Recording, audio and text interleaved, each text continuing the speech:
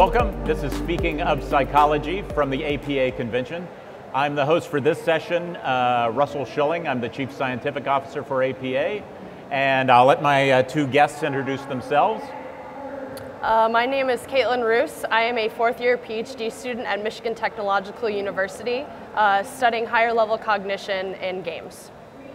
My name is Shawn Doherty. I'm an associate professor at Embry-Riddle Aeronautical University in the Human Factors and Behavioral Neuroscience Department. I am also currently the program chair for Division 21 here at APA, which is the Applied Experimental and Engineering Psychology Division. I'll leave it there. Okay. And today what we're going to be discussing is the psychology of esports, why it's relevant to psychology and why we should care as psychologists about esports. And so I'll start out with just asking that question of our panelists. So why, why should psychologists be uh, concerned with esports? Psychologists should be concerned with esports for many reasons. Regardless of what discipline you're a part of, uh, we have many people of many disciplines here uh, at APA. And so, whether it's the mental part, so um, disorders, abnormal psychology, stress management, performance psychology coming from sports psychology, um, development of a culture, communication, team dynamics, uh, there are many facets of esports that I think are fascinating, if not maybe confusing to a lot of psychologists, and it hasn't really been delved into very much. So I think it's an open field that I'm calling upon many psychologists to explore further. Okay. Well, it's so open, in fact, because it's relatively brand new. So just to give a little bit of context, um, esports involves the use of um, video games um, in competition with other video game players. So just as in traditional sports, you may have one team um, competing against another one. It's the same thing for esports, but we're utilizing video games where you have one team competing against another within a video game context. So that's what we're talking about here with esports. And so this is a relatively new area for research in that esports is relatively new as a discipline itself, which means that there's not a lot of research on it, which provides a lot of opportunity. Okay. Well, I know all three of us have been active in games. So my, in my background, I've uh, uh, helped uh, create games. I was a sound designer on a major title. Uh, I funded uh, at various times various educational and games for impact. So uh, really been part of the, the culture. A big fan of Portal. Uh, my favorite yes. video game. We have to get that out there. Uh, Absolutely. Yeah. Absolutely. Um, so, what are the what are the differences you see between traditional gaming uh, in those contexts and esports? You, you, you hit on a few of them just now, uh, but what, what do you, how do you see the overall differences? I think a lot of times there's a lot of um, environmental pressure coming on the side of the professionals as they are literally being paid on a stage to perform well, and they are expected to perform well. They're expected to face their fans, the media, um, with a certain professional face. Um, they're expected to be professional. They're expected to perform both internally within the team um, and maybe externally if they attend events and things. So I think that in and of itself, those pressures um, that have given a lot of young players, because the average age of esports players has actually is slowly rising, and I say very slowly. Um, I think it is now 24 years old. Uh, so typically, um, esports players are between 18 and 28. Um, yes, there are people outside of that range, um, but players typically are very young. So these pressures of maybe things that people in other careers would experience on a day-to-day basis, maybe that are more mature in development, um, they're experiencing this in a very high pressure situation. Uh, so this may be very new to them and very difficult um, compared to maybe more casual players, and I say casual in quotes, um, maybe non-professionals, but there are definitely competitive players and maybe more casual players, um, but they're not quite at the level of the esports professionals. Yeah, so I, I certainly agree that ha- there are different levels of play, and so you may have different uh, views or different pressures at those different levels. But if we're talking about professional players, you're talking about just like sports teams, they may be playing in front of hundreds of thousands of spectators. Their performance may be streamed to people watching online. Um, and so uh, their performance is under scrutiny all the time, um, just like standard sports teams typically are.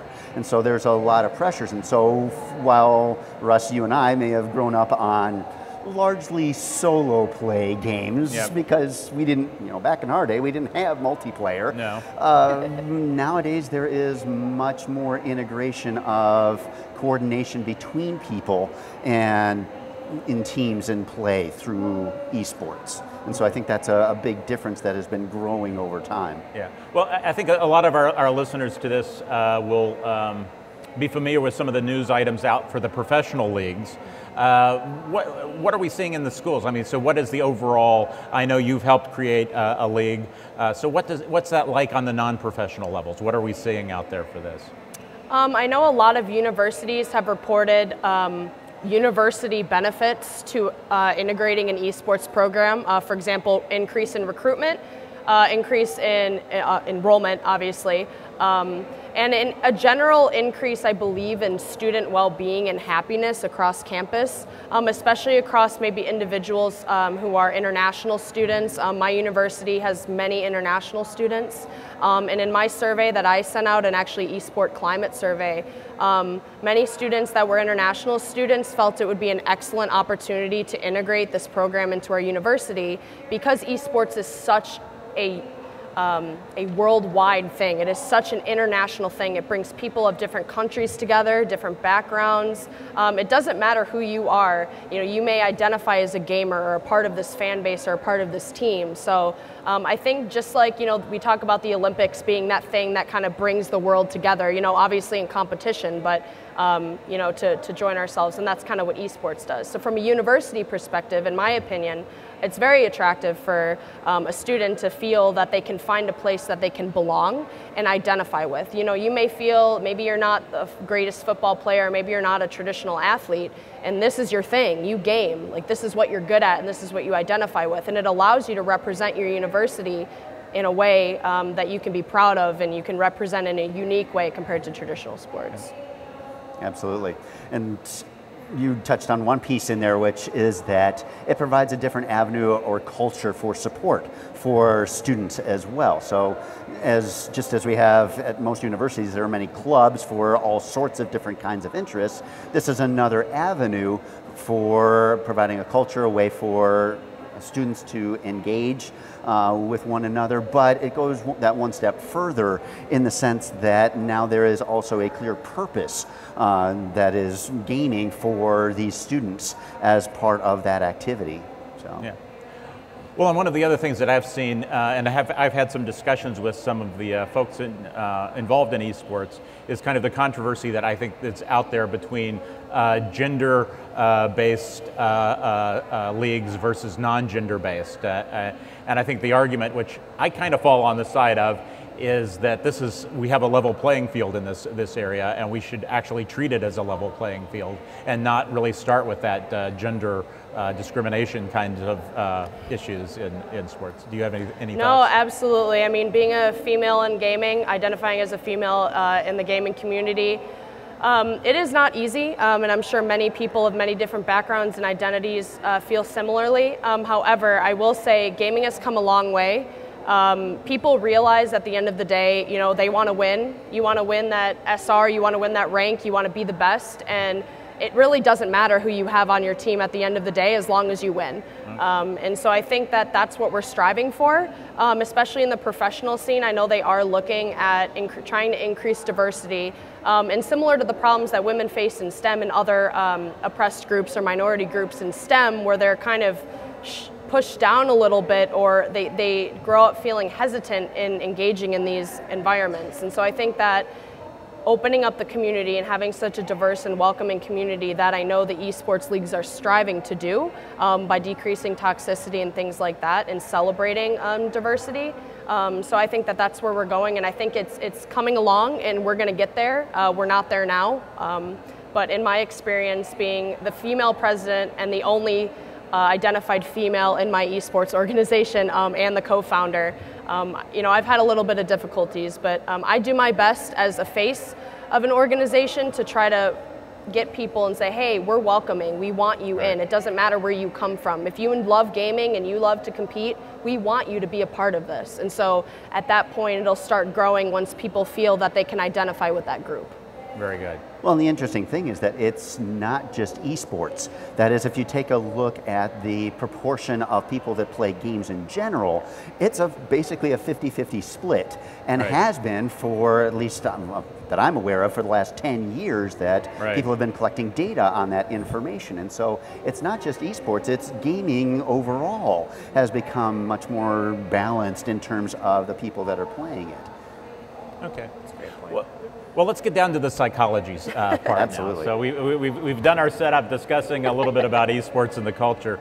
Um, you know, we, we, have especially uh, lately in the news, we've been hearing a lot of the negatives that people perceive about games, and we'll get to those in a little bit. But let's talk a little bit about what you see as the positives in games that we know from psychological theory and from data, and where you see the research uh, uh, gaps in this area. Because I know right now, being as new as it is, there's really not a lot of specific research in this area. So, uh, what are your thoughts on this? Okay. So, again, I'm program chair for Division 21.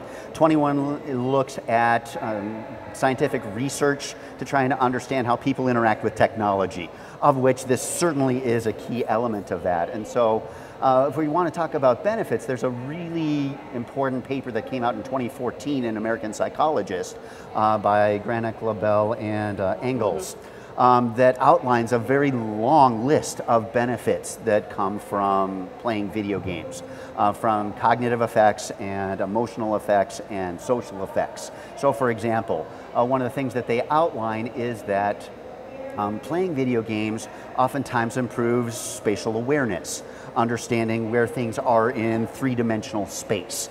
Uh, which is required for a lot of different gameplay, especially for things like uh, first person shooters. Knowing where you are relative to your opponent and where you need to shoot in order to take them out um, generates an, an increase in awareness of you and your surroundings and the relative nature of where things are relative to one another.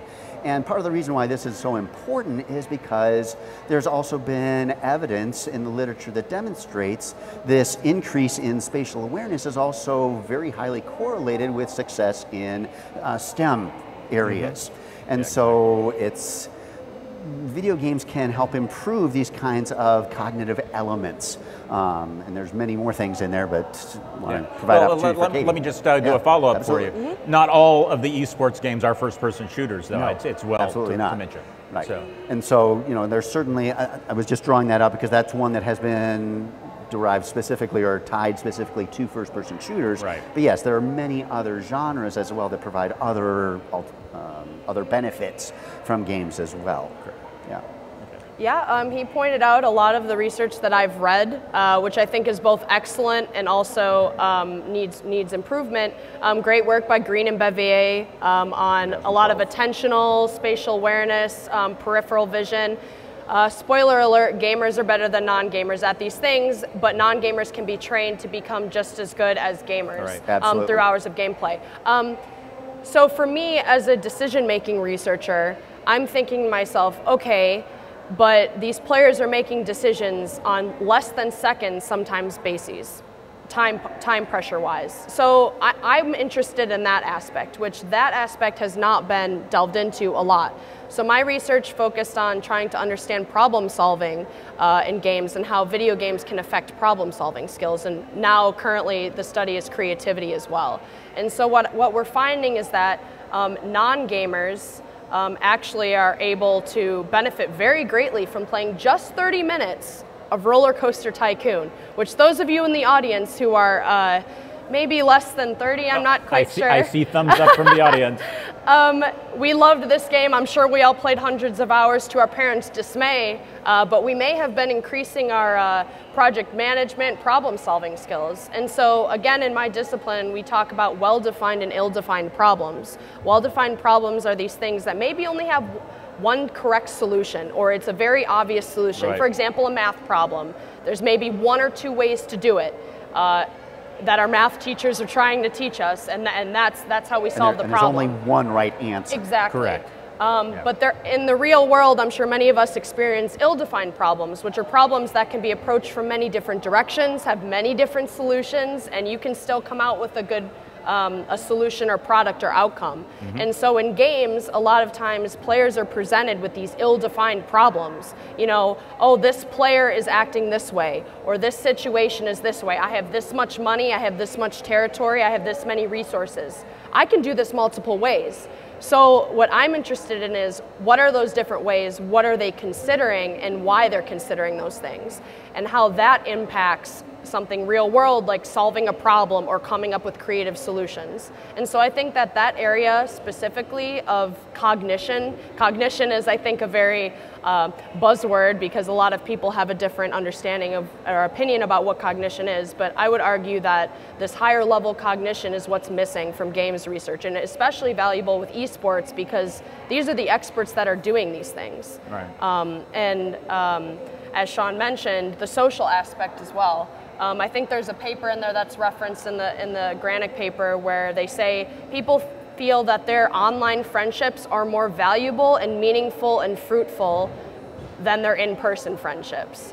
Uh, whether that's bonding over a hobby or communicating in a different sort of way or getting through these hard problems together. Um, so that I found was especially interesting coming out of that paper. But yeah, that's an excellent paper to look at. Um, parents or people that want to know about what are the what are the benefits of gaming. That's a great paper to start with. Yes. So, so what about the social aspects? So again, the the uh, uh, the um, popular concept concept of a gamer is somebody who's by themselves in their bedroom uh, with the lights out and, and in their gaming all night long. But that's not esports, correct? No, not at all, actually. yeah, I mean, okay, yeah, you're sitting at a computer, but usually you have your team sitting right next to you, uh, kind of doing the same thing. Um, but you're almost having a conversation, not face to face. So if we were all on a team and I said, okay, there's a flank coming from the right, you both would hear it and you both could respond and communicate back. Uh, obviously, we're, it's not like a conversation we're having right now, um, but it's a level of communication that now businesses are doing telecommunication. Um, maybe you can't afford to send your uh, sales guy to China, but you can have a Skype call, and that, that concept of virtual communication is very similar. Right. And part of what you were alluding to too is that we're talking about professional esports where they may be in the same physical location, just not necessarily oriented toward each other because they're talking through their headsets. But for things like casual esports, you're still working on a team with players that may be from around the world. So it's not only communication and, coordination of people for that particular purpose, but oftentimes uh, players will, outside of the game themselves, coordinate with one another and talk to one another about things that are going on in their life or sharing other elements, which then increases things like cultural awareness. Um, if you're talking to somebody that is from around the world, um, they may have a very different perspective than you are, and that's something that esports can facilitate. Okay. So I have another question. So I, again, I see this as a, a very potentially broad area of research. So coming from, as you know, uh, my background uh, originally as a military experimental psychologist, uh, I'm familiar with the you know team training uh, research, so uh, uh, and, and decision making under stress, and a lot of these other research areas, uh, some of which involve simulation, not necessarily games. So, are we drawing on any of those concepts from these bigger other areas into our research uh, uh, thinking on these? Absolutely. I know um, a lot of education research that's being done um, trying to understand learning, learning using games, serious games, um, or games for learning. There are many different terms for that um, that are being used. But I know that, especially in areas like military, aviation's been using simulations since they were probably first made. I'm, you know, I'm not quite sure about the history of simulations, but but the point is, it's a it's a form of a game. I would argue a simulation to some degree a visual simulation can be maybe considered a game if there are objectives, um, if there are uh, potentially multiple decision points, um, if there are other players involved. Um, and so that, that makes the question like, what is considered a game? And so obviously that's a little distant from esports, yeah. Um, but when you get in the concept of training and learning, um, and potentially team building or leadership development that I know is um, you know very important in, in a military context. Um, those concepts are happening. They're doing that training um, for these players because it needs to happen. You need to maybe have that individual that is the commander or the shot caller is, is a typical term for it that makes the decisions. They get the information and they make the decisions. They, they, they make the calls. And so that, that is a skill, arguably, that needs to be developed or worked on depending on the dynamic of your team. Yeah. And there's certainly, when you talk about esports, the skills that esports players have comes from a wide array of different topic areas that can be drawn upon uh, from pre-existing literature. So things like expertise has been looked at for decades. And so we can draw upon that kind of literature to try and understand how somebody might become an esports player expert. The interesting thing though is that, of course, Katie made the argument of games may not exactly be the same as simulation, but they're very similar. But then we also have to consider, well, what is different about video games? And we have this body of literature that already exists, but you may have now with video games something that nobody's really looked at in that way before. Right.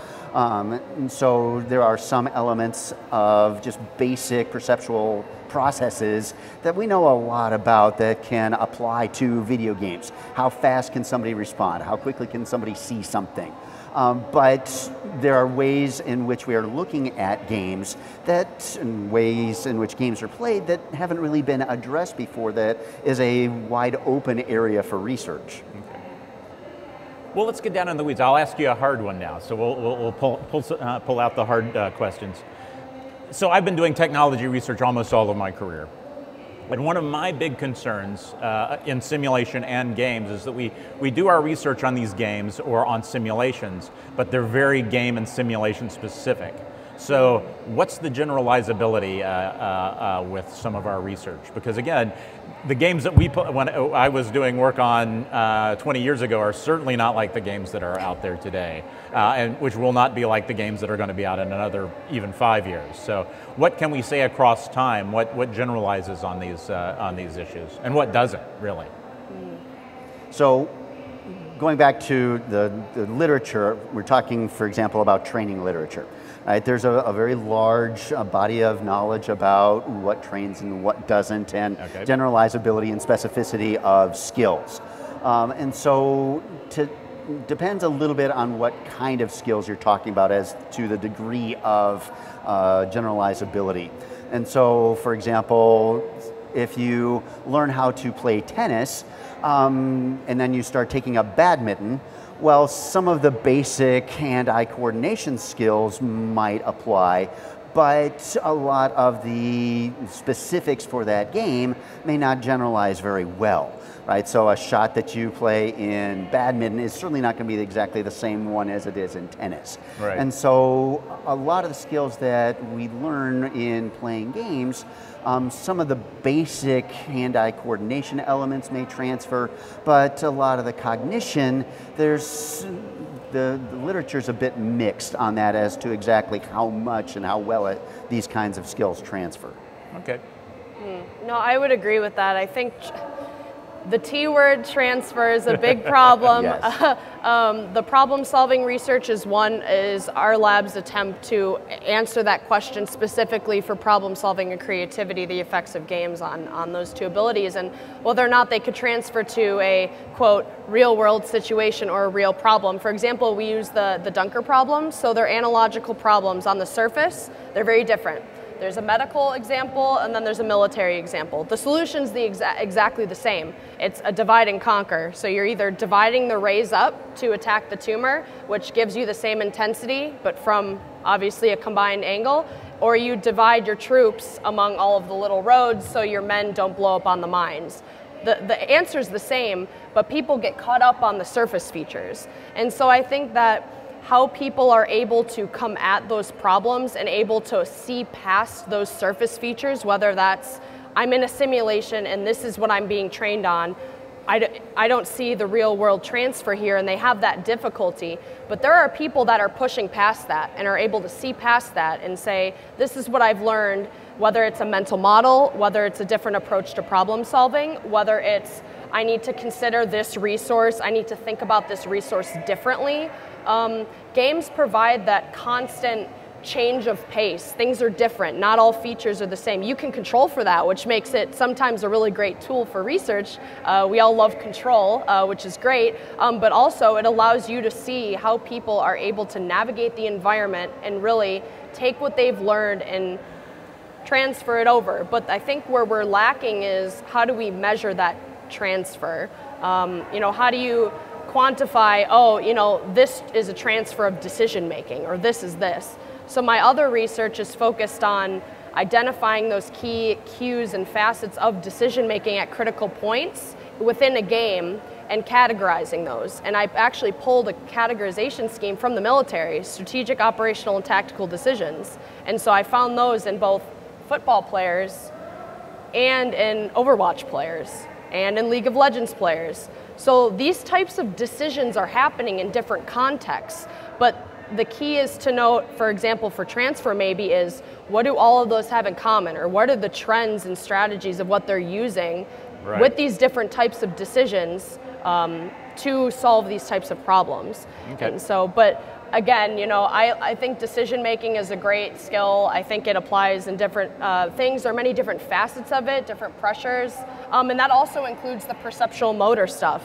Right. You know, maybe maybe you're tired, or maybe you're realizing you there's an issue with a technology or yourself, and you're like, I, have to deal with this this issue and this is going to affect my decision making so there's a lot of things that affect it so um, i think for uh, my opinion is that decision making and other similar um, aspects of psychology would be great to attack that transfer problem. Okay. All right, another question then. Uh, uh, actually, Bring it on. See, yes. Actually, this should be uh, maybe easier. So, again, I've had two, uh, another couple roles in my, my background. So, I, I co-chaired a, uh, a White House uh, committee on digital gaming for a while, uh, and I was at the Department of Education. But during those times, I was looking at educational games. Okay. Uh, and one of the things one of my PIs did, a, a non-psychologist I might add, but still a good guy, uh, Zoran, Zoran Popovic uh, out at University of Washington, who also did the Foldit game, so a problem-solving yes. game. Uh, he was doing work for me on doing uh, educational games in algebra and physics and some other areas, and also being funded by the Gates Foundation for this. Uh, one of the things he did, which was really interesting, is uh, he took an adapted version of DragonBox that used some of his technology. And if you don't know DragonBox, DragonBox is a game that purports, you can argue about this uh, question, to teach algebra in two hours. But it's a brilliant game, it's very engaging. Uh, but what he did is he took the game out and he did a uh, statewide competition for the entire state of Washington and then he, after that, he went out for another state, and then he did the uh, country of Norway. So, and including the prime minister of Norway, who was playing this game. So, oh learning algebra.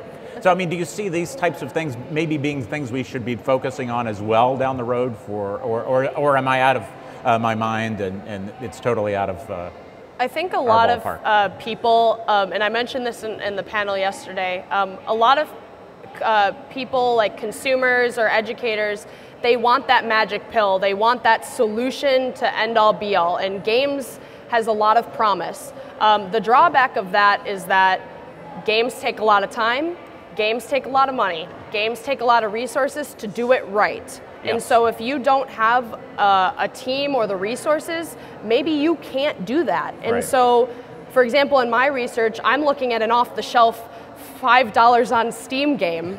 Um, you know, but some uh, of those are good. No, no, exactly. And so, you know, if we're getting, obviously, it's not meant to teach algebra, something yeah. like that. But there are games. I think it's called TI something, but it's supposed to teach the basics of programming. TIS-100. Yes. Uh, there you go. Thank you. Uh, you can tell uh, how much I've played that game in my Steam library. Yeah. Um, but but games like that that are more specified, but are definitely on the surface, you can tell it's more of a game. Um, I think hiding that instead of just having it be this is an educational game because people may approach that very differently than they would a more off the shelf game. Right. And so, but no, I don't think that, I think games for learning and serious games, I think they're great. Uh, a lot of medical simulations are very, or medical games are simul- and simulate, incorporate simulations. Um, they're great. I mean, they're useful. They've demonstrated progress over time in teaching a certain skill, maybe in oh, two weeks to a, to a new surgeon or whatever it is. Um, and they've shown great success. So I think if you have the research backing and you're yeah. demonstrating that um, whatever field it is or whatever task it is, you're demonstrating learning gains. Yeah. Nothing well, wrong with and it. what was interesting about DragonBox too is, uh, for at least in the research, and this was an adapted version, so it was an off the not the off the shelf version, but uh, they were actually showing some kindergarten or uh, kindergarten kids solving uh, the, uh, the, the challenges uh, in the game. Slower, obviously, than the older kids, but still amazing that you could actually yeah. teach them at least basic algebra concepts uh, to kids wow. that young. So, uh, really, a lot you can do with games.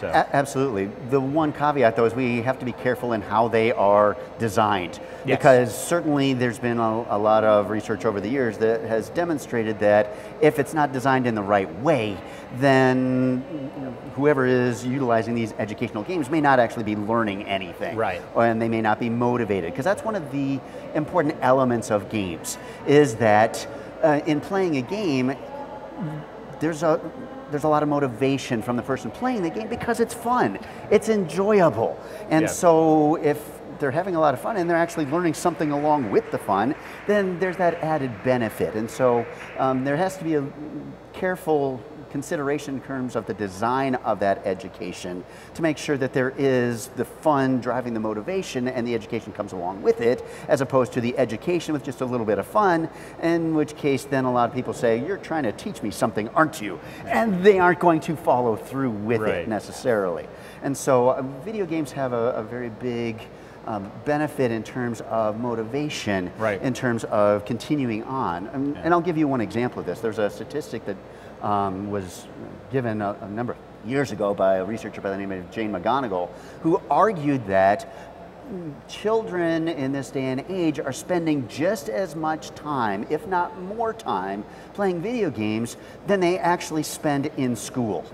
So then the question becomes, well, what are they actually learning from exactly. all of this gameplay? Yeah. Um, and so there is potential a lot, potentially a lot of power in terms of uh, the possibility for games. And yeah. adding to that, to the McGonigal argument, they're already doing it.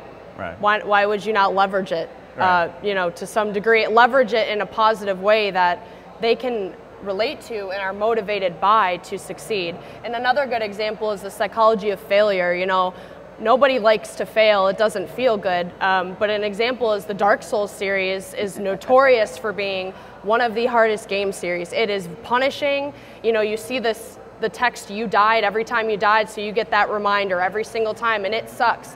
But victory is like a little bit out of your reach. So once you're able to solve that problem ahead of you, you feel good and you're like, I want to keep going you know, you might die 50 more times, but you're mo- it continuously motivates you to continue to solve those problems. And so, similar in a learning game, you know, obviously maybe a little less harsh. You don't need a you failed, you know, maybe necessarily up there. But if you're able to kind of get them right above their capability right. level, and they can be so confident once they solve it, and they can just want to do more. They're, you know, I solve this, I can do this, I want to learn more. That is what, um, yeah, that's incorporating that into design. Well, and having funded quite a few games, one of the big problems, which actually we could use, this, this is a research area in itself for psychology. It's almost impossible to create an engaging game that, uh, if you're doing it for education, that is engaging for a wide variety of students. So, I mean, there, it's very much preferential. So, again, how do you uh, develop a game that, that goes across, you know, cultural divides and gender divides mm-hmm. and you know, I have two kids with autism, so you look at neurotypical kids. I mean, so the gameplay, the game dynamics, and the themes, I mean, it's, the, when you look at a game, what most people don't realize, even in the research, is that these are actually uh, very complex cultural uh, uh, uh entities in themselves. Mm-hmm. Uh, and it's like studying a, a complex, any other complex environment in psychology. I'll tell one story since we're talking education, then we'll move on. Uh, I was on the America's Army video game development team back in, uh, this was around 2001, using a cutting edge first person shooter uh, uh video game engine. uh, I was very excited. They wanted to do medic training. So I was a medical service corps officer. I said, this is going to be great. We're going to have fully interactive. We're going to have them down in there, and you're going to be able to uh, treat wounds, and it's going to be wonderful. The Army said, we want it next week. So what we end up having to do, and this is the worst use of a game platform ever, is we created a classroom and we had the players had to come into the classroom, sit down in a chair, and watch PowerPoint slides of an instructor uh, as, as they were giving lectures and then pass a test. It was so painful and embarrassing. But what came out of that, we were starting, and again, this is another area of, of how powerful these can be. We, uh, uh, uh about two months after we released it, we got a letter uh, on an email from uh, this kid that said, I saved my brother's life because I had gone through your training program and we were in an accident and he was bleeding and I was able to uh, stop the bleeding. So I mean, even in these cases, you know, and it, it was it was kind of an, a wake up call for me to see that, you know, how much the you know. One that you could actually get players to go in for a half an hour, an hour, and sit in a virtual classroom and watch. And I was one of the instructors, by the way. Um, So it was my voice uh, droning on at them, but it, very uh, lifelike to the Army and uh, Navy experience. Uh, but they will do that. So, you know, it, these are very interesting things. So That's a great story. so let's, okay, so uh, we, have talked for a while. Uh, there's usually an elephant in the room about gaming, and especially in these times when we have mass violence situations. and I know some of our listeners are probably asking themselves, so you know, what are your views? Um, we know that in 2015, uh, uh, the APA released a statement on video games talking about aggression. Uh, we're currently reviewing uh, newer literature, so we'll be uh, discussing that at a later date, what, what would come out from that. Um, but uh, you know, I've been answering questions here this past week on the differences between violence and aggression, which is a psychological set of constructs that the, the public doesn't really understand, and kind of rightfully so. Uh, but where, where, do you stand? So, uh, how do you think esports compare with other games, or what do you think the overall themes for games? What, what is your takeaway message from these? Um, I think with esports, toxicity has always been a thing in games. Uh, as Alexis from our esports panel yesterday uh, mentioned, we didn't invent trash talk. Uh, athletes have been doing that for decades. Um, you know, we just kind of do it in a different way, I guess. Um, so I think a lot of times people perceive um, that level of toxicity or banter as maybe condoning violence or condoning more aggression. Um, and so I think that that is, that is an issue in esports is this outward aggression. They are public figures. Um, you know, rage directed at an individual versus rage directed at the game. Um, in my opinion, those are very different things. Um, you know, as an if against an individual, um, you know, I, I'm not super knowledgeable about um, aggression studies, just specifically aggression and you know the correlation or the causation of, of actually violent acts. But to me, if you're directing it at an environment, at kind of an inanimate thing that doesn't, you know, maybe have any effects, it's kind of one of those coping mechanisms where you go home and you have a bad day and you punch your pillow, like, and then you feel better, or you cry and you feel better. Um, so I think that this debate is an important one. Um, it's a hot topic, especially for parents. I think a lot of the issue also stems from um, parents maybe not being as knowledgeable about the games industry and the field. Um, you know, the ESRB puts out ratings for a reason. Uh, you know, a 10 year old is not supposed to be playing Counter Strike, uh, or I think Rainbow Six is also rated M, I'm not sure. But, but they put those out for that reasons, is because they're very easily influenced. And to what degree they're influenced, the developmental psychologist can come in and step in. Um, but I, I don't know. I, I, think that the studies that have been done have been mixed. I think there was a great panel, I believe, yesterday yes. um, on violence in games, and uh, the individual went through all of the studies and said, "Here's what, here's how it was designed uh, you know, here's maybe a potential issue with the methods or how they went about doing it or their uh, operationalization of yeah. aggression or violence. As I said earlier, it's so, a very complex social environment. Exactly. Yeah. And so I think that that, it, what the APA is doing right now and going through all of the studies and, and being able to make a statement, I think as, as researchers and as people, we need to be skeptical and we need to question those methods and we need to say, okay, so you use this why? Did you justify it? Um, where, what theory or what research is this based in? Um, right. So you can be confident in that. But I think to the public, I think we need to be um, better about how we're disseminating that information because people may only read one line and that may be the line they remember, but that's not your takeaway line. That's not the bottom line up front or whatever it is that you want them to remember. So it's very easy to misinterpret research, especially if you're not um, projecting it or uh, presenting it in a way that maybe is not um, able to be understood by a wide audience or misinterpreted. So I think that as a community, maybe we need to do a better job um, with research, being able to disseminate it more clearly with the message that they need to take away from whatever it is, an article or a paper. Right. Um, Well, in addition to that, we're talking about a very complex issue. I mean, it's, but everybody wants a simple answer, Right. right? Is there a connection between violence and video games? And they're looking for yes or no. It's a lot more complicated than that. And what we need, you know, we're talking about this as science. We, it needs to be tied back to empirical information that can lend support to which direction this answer comes from, and then being able to convey it in a meaningful way um, to, to the public is really important. There's also issues in terms of not only the, the content of the games and behaviors that occur, but it's very difficult as psychologists to measure it. I mean, there are certainly ethical issues of looking at this kind of topic because as researchers, we can't go into somebody's house and say, hey, play this video game, and two hours later, we'll see if you, if you want to punch the dog. We, we can't do that ethically. No. Right? So we have to use these other measures that make it much more difficult Right. to answer that question.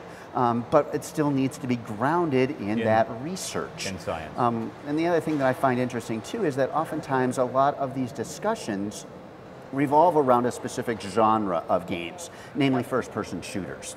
And uh, one of my arguments that I always make that I find interesting is that, for example, I play a wide variety of games. Right. Um, so, for example, I may play a fantasy game.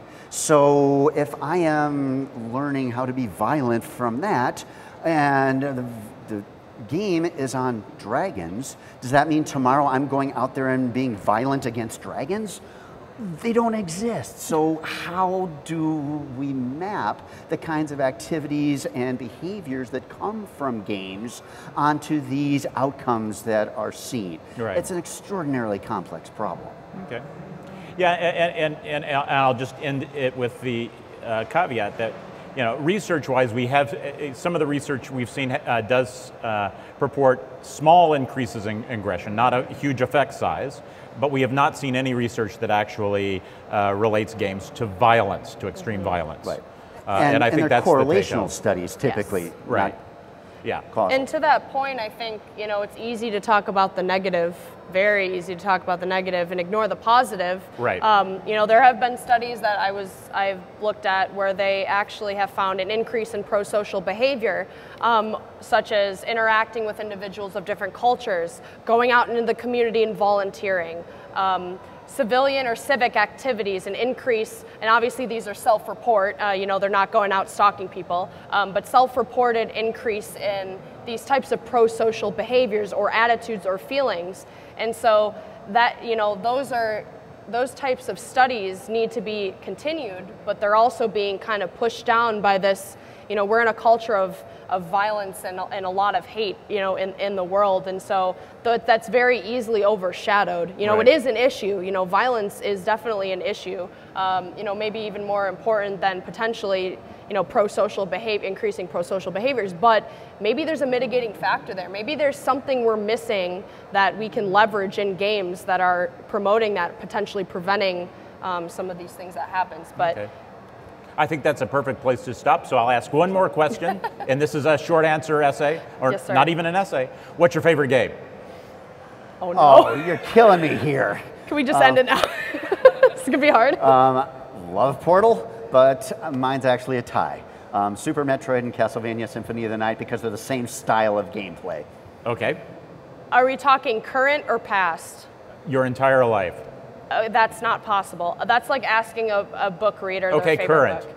Um, I play a lot of Heroes of the Storm. I love that game. I also love the Persona series and the uh, Fire Emblem series. So, um, yeah, go out and, and buy them. No, I'm not sponsored by any of these companies, uh, but they're excellent games. So, and Persona is based in uh, psychology. Uh, those is. of you that know what a persona is, uh, want to know Yeah. about yourself, go But, for it. but go there are lots it. of great uh, games that are good uh, research uh, platforms. Absolutely. Kerbal Yes. Space Force is often Yes. overlooked. Yes. Uh, but there's lots to be done in this area, so we uh, really encourage everybody who's listening to kind of go out, uh, learn more about these areas, not just in esports, but games Yeah. uh, uh, overall, because there are some really fascinating research uh, areas across the spectrum of psychology that you can really pursue. So, Thank you for listening, and uh, thank you for uh, your informative uh, discussions. Thank you for having us. Thank you.